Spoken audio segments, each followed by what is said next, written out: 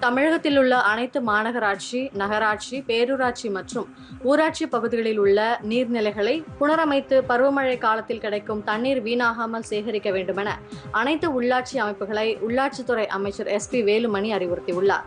சென்னை மாநகராட்சியில் பருவமழை முன்னெச்சரிக்கை நடவடிக்கைகள் நீர்நிலை புனரமைப்பு மற்றும் கொரோனா தடுப்பு நடவடிக்கைகள் குறித்து அதிகாரிகளுடன் ஆய்வு நடத்திய அமைச்சர் சென்னை மாநகராட்சியில் குடிமராமத்து பணிகளை செயல்படுத்த இருநூற்று பத்து நீர்நிலைகள் அடையாளம் காணப்பட்டுள்ளது என்றார். தனியார் நிறுவனங்களின் சமூக பொறுப்புணர்வு நிதி உள்ளிட்ட பல்வேறு திட்டங்களின் கீழ் நூற்று முப்பத்தி மூன்று குளங்கள் இதுவரை புனரமைக்கப்பட்டுள்ளதாகவும் எழுபத்தி ஏழு நீர்நிலைகளை புனரமைக்கும் பணி நடைபெற்று வருவதாகவும் தெரிவித்தார்.